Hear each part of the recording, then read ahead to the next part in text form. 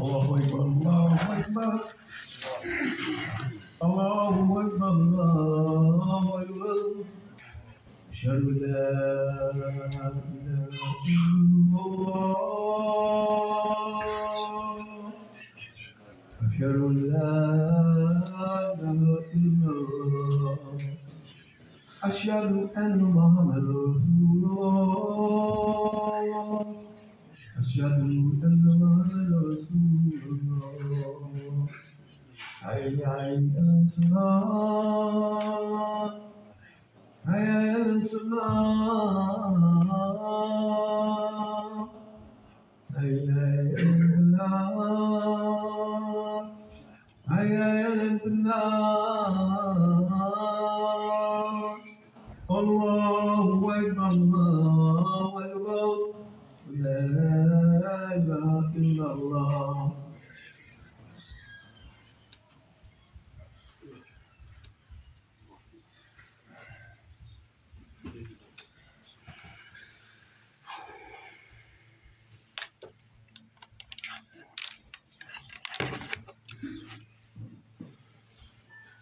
الحمد لله نحمده ونستعينه ونستغفره ونعوذ بالله من شرور أنفسنا ومن سيئات أعمالنا من يهده الله فلا مضل له ومن يضلل فلا هادي له وأشهد أن لا إله إلا الله وحده لا شريك له وأشهد أن محمدا عبده ورسوله يا أيها الذين آمنوا اتقوا الله حق تقاته ولا تموتن إلا وأنتم مسلمون يا أيها الناس اتقوا ربكم الذي خلقكم من نفس واحدة وخلق منها زوجها وبث منهما رجالا كثيرا ونساء.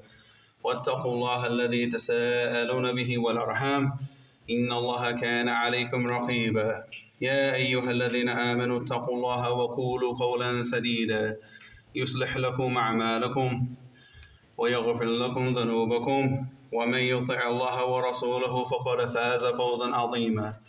أما بعد فإن أصدق الحديث كتاب الله وخير الهدي هدي محمد صلى الله عليه وسلم وشر الأمور محدثاتها وكل محدثة بدعة وكل بدعة ضلالة وكل ضلالة في النار. ثم أما بعد. يقول الله تعالى في كتابه الكريم ألم يعني للذين آمنوا أن تخشع قلوبهم لذكر الله وما نزل من الحق ولا يكونوا كالذين أوتوا الكتاب من قبل فطال عليهم الأمد فقصت قلوبهم وكثير منهم فاسقون subhanahu wa ta'ala said in the Quran, has a, time, has a time not come for the believers and تخشع قلوبهم لذكر الله that their hearts become humble and their hearts experience a form of humility and their hearts uh, exper- and they, uh, experience a sort of submission when they hear the remembrance of Allah subhanahu wa ta'ala. And of course, here the dhikrullah is referring to the Quran. So Allah subhanahu wa ta'ala said, Has that time not come? When you start to hear the remembrance of Allah subhanahu wa ta'ala, that your hearts start to tremble, that your hearts start to submit to what you hear. ولا and he said ألم يأن للذين آمنوا تخشع قلوبهم لذكر الله وما نزل من الحق وما نزل من الحق this also refers to the sunnah and when they hear the, the speech of the Prophet ﷺ and the commands and the prohibitions that they do what they're supposed to do and they stay away with, from uh, what they're supposed to stay away from ولا يكونوا كالذين أوتوا الكتاب من قبل and, and don't be like the people that were given the book from before you because the time it became long. The time between their prophet and them, it started to become longer. And then what did they do? They started to stray. They started to stray. They started to go away from the book of Allah. And they went away from the guidance of the messenger. And because of this, because of the straying and this going away from the guidance, their heart started to become hard. Because, uh, you know, the, the remembrance of Allah subhanahu wa ta'ala, it brings that softness to the heart sitting down and reading the Quran with tadabbur, pondering over the ayat and trying to seek guidance from the Quran. It brings softness to the to the heart and it brings sakina and it brings tuma'nina, it brings peace and tranquility. It's not if it's not is it not with the remembrance of Allah subhanahu wa ta'ala here in the Quran that the hearts become at peace and at ease. But their hearts became hard because they went away from that guidance. And then when you try to advise them and you try to tell them this is this is the guidance, this is what Allah sent down, this is what the messenger sent down, they don't want to hear it. They rather listen to what their desires tell them and follow what their desires say or what somebody else says. They no longer want to hear the guidance. And this is because of their straying away from the book of Allah, from their straying away from the from the guidance of the Messenger وسلم, that their hearts have become hard. And he said, وَكَثِيرٌ مِّنْهُمْ فَاسِقُونَ And he said the majority of them are what? فَاسِقُونَ فَاسِقُونَ, it comes from the word fasaqa, which means kharaja, which means to leave out of the obedience of Allah subhanahu wa ta'ala. وَكَثِيرٌ مِّنْهُمْ فَاسِقُونَ أي خارجون عن طاعة الله تعالى ورسوله that they left out of the obedience of Allah subhanahu wa ta'ala and His Messenger. And the only way that we could truly benefit from this Quran, from this book that Allah subhanahu wa ta'ala sent down, is to first off, we have to understand this is why it becomes an obligation upon every single Muslim to understand the Arabic language. It's an obligation. This is not a, this is not something that you do if you want to do or you don't do. Allah subhanahu wa ta'ala sent this Quran down in Arabic. It's in Arabic. It's in Arabic it becomes an obligation upon every single Muslim to learn the Arabic language so he can understand the commands and the prohibitions. He can read the Quran and understand what Allah subhanahu wa ta'ala is telling him. These English translations and these other translations are not going to do it. The Quran was sent down in Arabic. So first off, it becomes an obligation for you to understand the Quran in its language, the language that Allah subhanahu wa ta'ala sent it down, the language he spoke. The second thing is to understand it with knowledge to understand the tafsir, to go and understand the ayat in this way that you can have tadabbur, that you can ponder and you can read the Quran actually seeking guidance. Because that's the whole point. We're not just to read it, just to read it, just to get 10 hasanat for every harf, just to read it. Oh, how many times did you read the Quran in Ramadan? Three times, four times, five times. But how much did you understand? And how much of that actually penetrated the heart? How much of it affected you? And that's the most important thing. It's better to read a little bit pondering over the Quran and having it affect you and change your life than just read a little, than read a whole lot and with no change in your lifestyle. Because you're reading the Quran, if you're reading it and you're truly pondering over the meanings, you should be changing as a person. And Allah mentioned that He sent the Quran down for this purpose of what? To ponder it. He said what? كتاب أنزلناه إليك مبارك ليدبروا آياته وليتذكر أولو الألباب. He said, this is a book Kitabun anzalnahu that, I've, that we have sent down. Mubarak. That is a blessed book because you have all of the benefits. All of the benefit that you need in this life and the next life, you find it in the Quran. You don't need to look anywhere else. It's Mubarak. Everything that you need to live your life, to be an upright person, to do the things that you need to do in this dunya, and the things that you need for, to prepare for the akhirah, it's in the Quran. You don't need to look anywhere else. You have to go to the Sunnah to understand the Quran, but everything is in the Quran. Everything that you need is guidance. And it's a kitabun mubarak. And that's the blessing. And then after that he said, لِيَدَّبَّرُوا آيَاتِهِ What? It's made to, for the for the for the for the ayat, the verses, the ayat of the Quran to be pondered, to be thought about, not to just be read you know, passively, with your mind thinking about something else, to be read where you're focusing on everything that you're reading and you're focusing on, you're seeking the guidance when you're reading. You're not just reading just for fun or reading just as a form of exercise for the mouth. So he said, لِيَدَّبَّرُوا آيَاتِي وَلِيَتَذَكَّرَ أُولُو الْأَلْبَابِ And for the people that have the strongest minds, that they, it will be a reminder for them that it put, uh, put, like puts them back into the when they start to forget a little bit that the Quran becomes a reminder that they can sit back and they can remember what it is they have to do and what it is that they have to stay away from. So this is the Quran. This is the book that you most of the people here don't even pick up throughout the year. You pick it up in Ramadan, you start to read it a little bit, like I said, like exercise for the mouth, but you're not, is, is it really penetrating the heart? And you know it's penetrating the heart because your actions start to change and you start to become a better person. And you start your actions start to become more upright. And that's why Allah subhanahu wa ta'ala also said about it, tadabbur and pondering the Quran. He said, أَفَلَا يَتَدَبَّرُونَ الْقُرْآنَ أَمْ عَلَى قُلُوبٍ أَقْفَالُهَا He said, will the people not ponder this Quran? أَمْ عَلَى قُلُوبٍ what? أَقْفَالُهَا Or do they have locks on their hearts? You go back to the previous ayat. فَطَالَ عَلَيْهِمُ الْأَمَدُ فَقَصَتْ قُلُوبُهُم the, the, the time between the prophet and them became long, and their hearts became hard.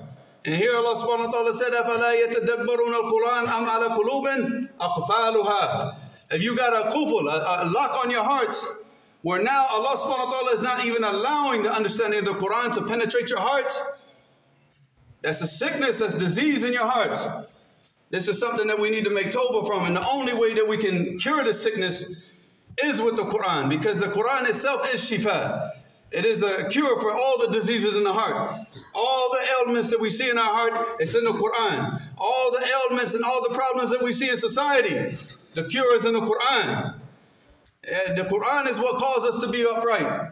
Allah subhanahu wa ta'ala said, إِنَّ هَذَا الْقُرْآنِ يَهْدِي لِلَّتِي هِيَ أَقْوَمُ ويبشر المؤمنين الذين يعملون الصالحات أن لهم أجرا كبيرا Allah subhanahu wa ta'ala said إن هذا القرآن that this Quran يهدي للتي هي أقوم that this Quran guides the people to the most upright behavior to the best behavior وَيُبَشِّرُ الْمُؤْمِنِينَ And it gives glad tidings to the believers because the believers are the ones who are going to read the Quran with understanding. And the believers are going to be the ones who read the Quran seeking the guidance from Allah subhanahu wa ta'ala and seeking what they have to do and what they need to stay away from.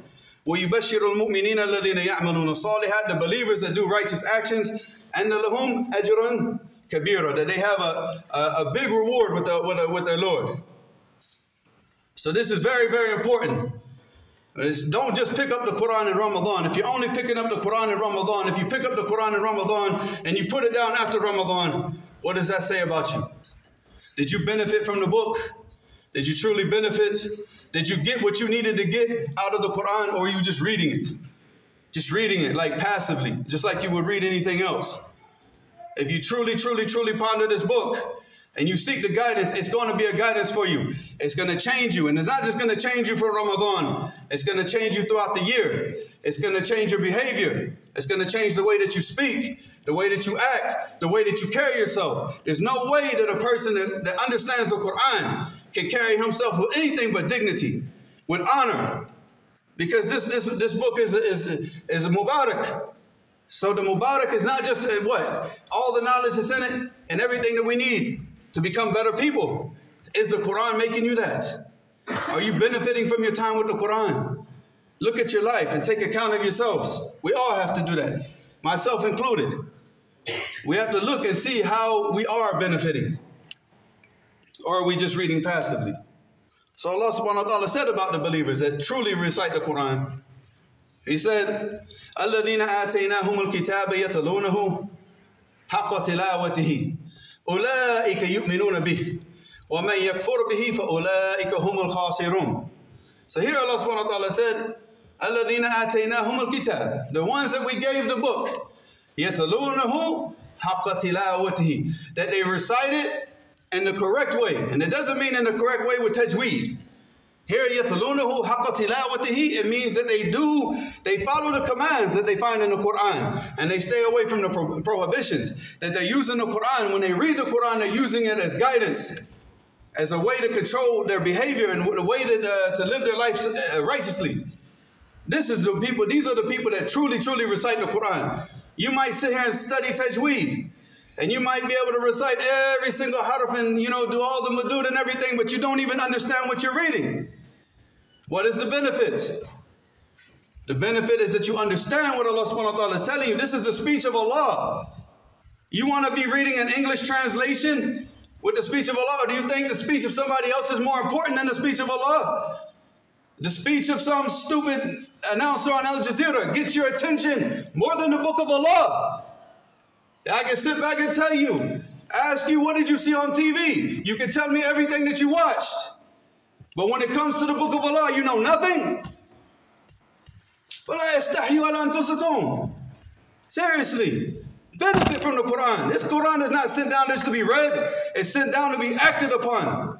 And that's why he said, Allah subhanahu wa ta'ala said, Inna hadha al-Quran yahdi aqwam. If we benefit from this Quran as a community, that we are going to lead this world. We're going to be leaders of this world. But look at us now. Look at our state. Look at the state of the Muslims around the world now. Because what do we do? Just pick up the book, read it, Ramadan's over, toss it back on the shelf to collect dust. This book is meant to be pondered. It's meant to be acted upon. It's meant to be carried out. It's meant all of our judgments and everything we do is by the book of Allah and the sunnah of his messenger. We don't seek guidance in anything else. And no speech of no other, no, no, no other speech is more important than the speech of Allah. If the speech of Allah cannot hold your attention for even a small period of time, but everything else from these kuffar and the movies can hold your attention, what does that say about your hearts?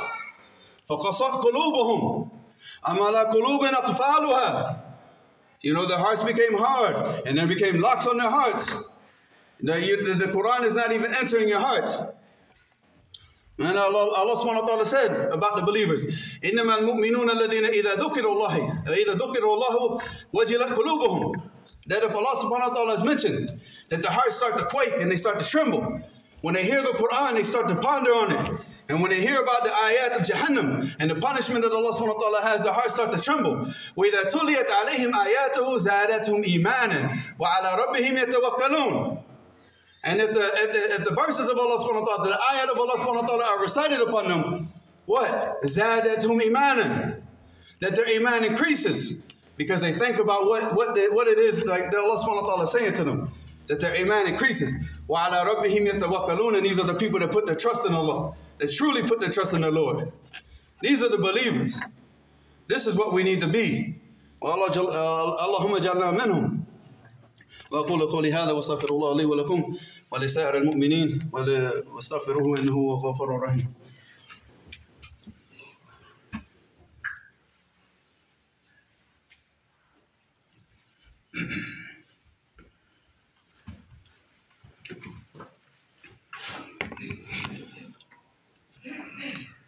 إن الحمد لله نحمده ونستعينه ونستغفره ونتوب إليه. ونصلي ونسلم على أشرف الأنبياء والمرسلين محمد وعلى آله وصحبه أجمعين وبعد. So Allah subhanahu wa ta'ala said in the Quran, He said, قَدْ جَاءَكُم مِّنَ اللَّهِ نُورٌ وَكِتَابٌ مُبِينٌ يهدي به الله من اتبع رضوانه سبل السلام ويخرجهم من الظلمات إلى النور بإذنه ويهديهم إلى صراط مستقيم. Here Allah subhanahu wa ta'ala said قَدْ جَاءَكُم That is come to you. From Allah subhanahu wa ta'ala, nur, a light, a light for the people, a light for your hearts, a light to shine up all the to, to give you light in this darkness that we that we live in, the darkness of kufr, the darkness of shirk, the darkness of sin, that we all in the darkness of following the desires. And Allah subhanahu wa ta'ala sent down this nur, sent down this light to you. With kitabun mubin, and a, and a book that's clear, that's, that clarifies everything that you need to know.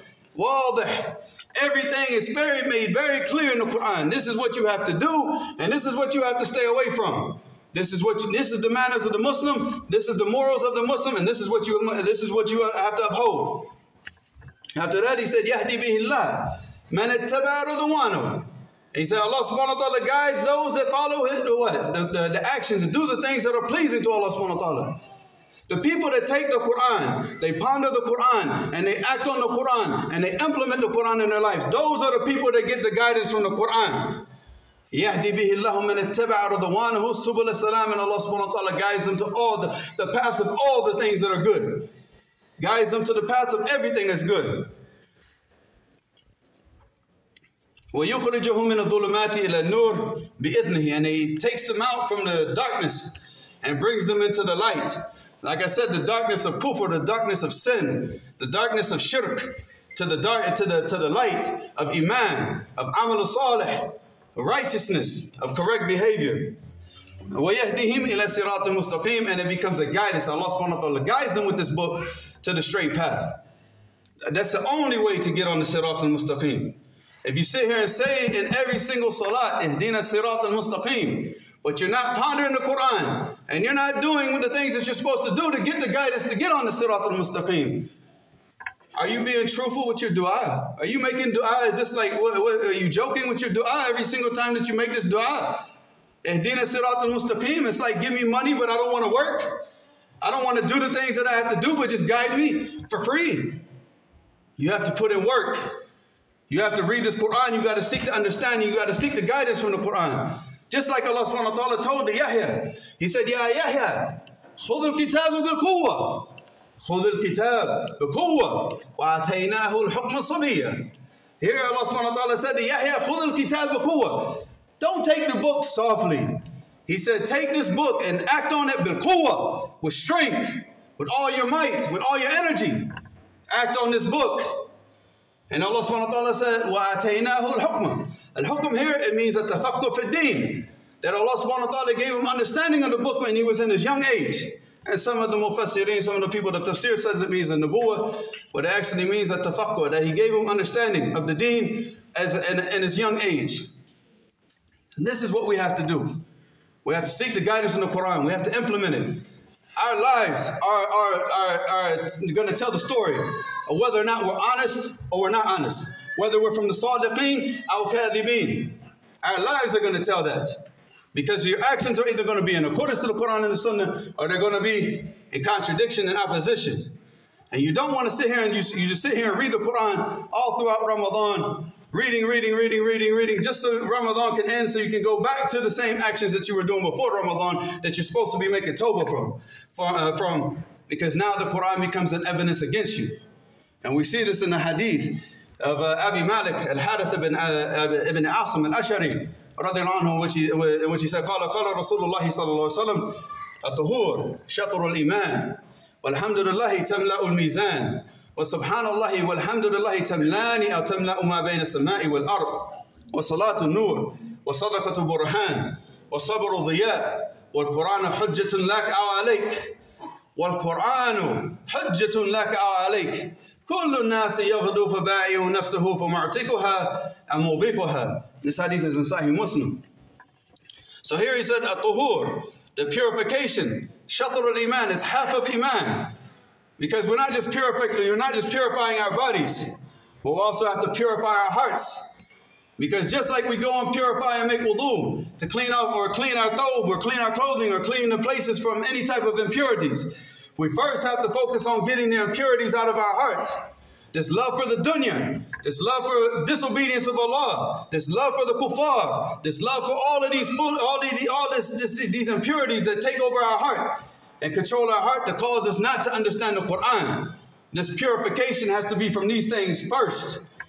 You purify your body, but you're rotten on the inside. You're clean on the outside, rotten on the inside. Your faida, Fiq? What's the benefit here? You better to be what? Dirty on the outside and have a clean heart than have a clean body, clean clothes, and have a filthy heart. Allah musta'an. So the tahur shatr al-iman is half of iman, that purification. Dahiran wa batinan, on the outside and on the inside. Alright, walhamdulillah tamla'ul mizan. And as, as saying of alhamdulillah, if you say it but you truly understand it and you truly mean it, you truly, truly mean it. Because you, alhamd is only said with what? Well, adama, you have to have like uh, ta'zeem fi qalbik. If you're reading the Quran and you're not trying to find the guidance of the Quran, you're not saying Alhamdulillah bil You're not saying it truthfully. Because there has to be ta'zeem. Ta'zeem is like now, the speech of Allah is the most important speech. Now you say Alhamdulillah. You say it with truth, and it fills up the scales on the day of judgment. And he says, Subhanallah, walhamdulillah, tamla'an, aw tamla'ul mizan. He said, and saying Subhanallah, that Allah subhanahu wa ta'ala is free from all imperfections and free from any deficiencies or free from any anything. Anything except for Allah subhanahu wa ta'ala is perfect in all regards. And he's free from any type of imperfections. And that's the meaning of subhanallah. Walhamdulillah, tamlani aw tamla'u uh, ma bayna samai wal ard. That it fills up between what's between the heavens and the earth. Then he said, salatu nur. They're praying. Your salat is nur, is light. And he said, wa, wa burhan. And the sadaqah, you giving in the path of Allah, is an evidence that you're a believer, that you're a true believer. It's a burhan. It's an evidence for you to show that you're a true believer. Because the munafiqun, the people of, of, of, of hypocrisy, they don't give for the deen. They don't ever give for the deen. They only give for themselves or they give to, to show off to the people. But your giving for the sake of Allah subhanahu wa ta'ala is a show, is a, shows your iman, is a burhan, evidence of your iman. And then he said, as-sabru diya. So here he said that what? As-salatu nur. Wa-sabru diya. Nur is light. Diya is light. So what's the difference? Al-diya is light that has heat, that burns. Nur is light that doesn't burn. When you're praying all the time, you're, you're maintaining your salawat, You know, inshallah, the, the salat is what? What? Tanhan al fahshay wal munkar. The true salat and praying correctly, it prevents you from doing immoral acts. It prevents you from acting, acting foolish. So how can you get burned up by that? So it's nur. It has no heat in it. But sabr, diya, diya is light that has heat. Because sabr require, it re- requires you going through pain and suffering. So you get burned up. You get burned up with the trials and tribulations. But it's, a, it's still a diya for you. It's still a light for you. And then he said, well, Qur'an awalik. And he said the Quran is either an evidence for you or it's an evidence against you. You read the Quran and you're seeking the guidance and you're doing what you're supposed to do, it's an evidence for you. If you just read the Quran and throw it back on the shelf to collect dust, it's an evidence against you. Then after that, he said, Kul nasi. All of the people, yaghdu, they go out of their houses early in the day. فَبَائِعُ نَفْسَهُ And they're selling themselves. فَمُعْتِقُهَا Either to free yourself, أو مُوبِقُهَا To destroy yourself. Because when you leave out of the house, you're either acting on the Quran and the Sunnah, you're implementing these in your life, so you're freeing yourself from the from the hellfire, freeing yourself from the punishment of Allah. Or you're going out and acting contrary to what you read, then it becomes a hajj alik, and you're what? You're going out every single morning in destruction of yourself. Allah musta'an. اللهم ثبتنا على هذا الدين حتى نلقاك به ربنا اغفر لنا ذنوبنا وكفر عنا سيئاتنا وتوفنا مع الأبرار ربنا آتنا في الدنيا حسنة وفي الآخرة حسنة وقنا عذاب النار. سبحان ربك رب العزة أما يصفون وسلام على المرسلين والحمد لله رب العالمين. وأقيموا الصلاة.